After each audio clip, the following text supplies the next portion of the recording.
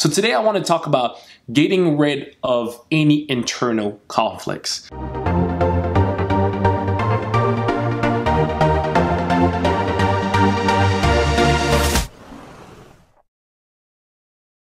Hey guys, my name is Salem Soni and welcome to my YouTube channel. Here I help individuals just like you be more motivated, discover their purpose, and understand that they're God's very best. If you're new to the channel, consider subscribing. So we're talking about how you can be successful this school year in the next 90 days. You may be asking why 90 days Salem? People have said that it takes about 21 days to build a habit, especially if you do it over and over and over for 21 days straight. But often enough, some of the skills that we're gonna be sharing here, you're not going to apply each single one of them every day. So that's why we'll give you a longer period of time so you can be able to apply at least several times a week by forming a habit. That's the reason why I'm talking about the 90 day. This can be applicable to anybody who's doing an undergraduate degree, your master's, or you're doing a doctorate degree, whatever the case. So if you have any question or anything you would like to ask, don't hesitate, contact me on the email as you see on the screen right now. So we divided all these into two categories. What we talked about is the mental and the physical. The mental means are things that you have to have to do in terms of your mind, your consciousness, how you have to get yourself ready. And the mind is a large percent of your success. Why? Because before you start acting onto something, you're probably going to have to start changing your belief level up on that. So we're going to be talking a lot more about the mind, but then we're going to give you that tangible action stuff that you have to do. When it comes to the, the physical aspects of things, what are some of the, the, the tools, the, the habits forming that you physically have to do to put you in a place to win the school year. That's my hope for you, right? So today I want to talk about getting rid of any internal conflicts. How you feel about yourself inside is going to determine a lot how you study. How you feel whether you're depressing, whether you have a lot of limiting belief, you think maybe you've heard all the time, you know, your mother say you're not smart, your brothers have said you come from a, a neighborhood where no one has made it as far as you made it. So the limiting belief is no one has got their masters in your family. You're the first one to go. You're the first generation student in college.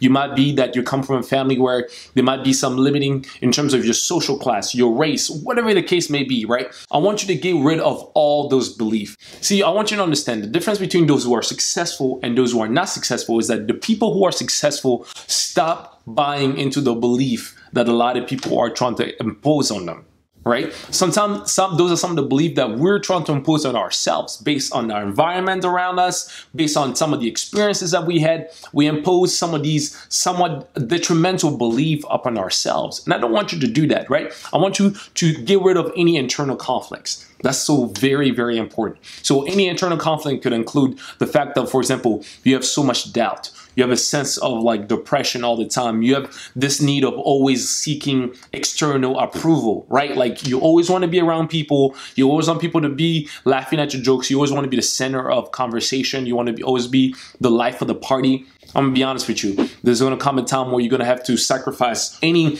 any sense of diminishing belief that you might have into yourself. So how can you practically do that? I want you to write down the list of the things you are good at.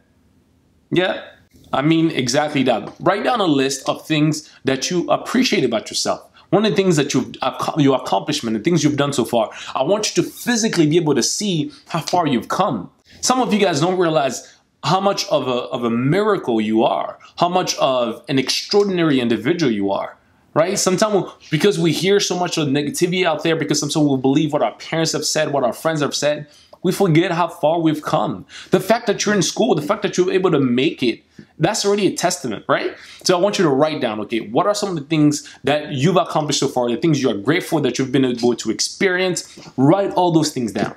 The next thing I want you to do, I want you to start being grateful for all those different things.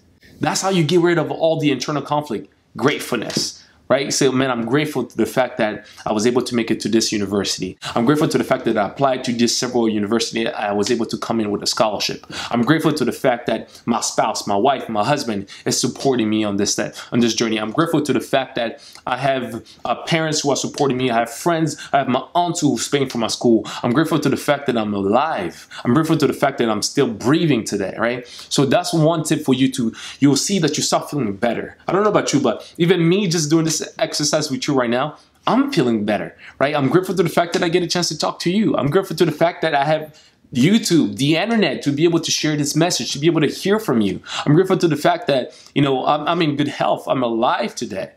I want you to start being grateful. Write down those different things and be grateful for each one of them. That this is going to be a journey. You might not it's not going to change maybe overnight that you're going to completely change how you feel, but it's going to be one step at a time. And hopefully it's going to help you go to the next level. And as you continue to start being grateful, you might be doing this exercise several times, maybe a day, several times a week to change your disposition, to change how you feel, to change your state. And I can guarantee you it's going to have a tremendous impact on your studies. Trust me. So that's all for me today. Remember, you're God's very best. If you like this video, make sure you give this video a thumbs up. When you subscribe, also click this notification button, right? The, the little bell that you see there. When you click this, you'll also get notified of the upcoming videos. You don't want to miss one of these videos. But until then, remember, you guys very best, and I'll see you guys next time.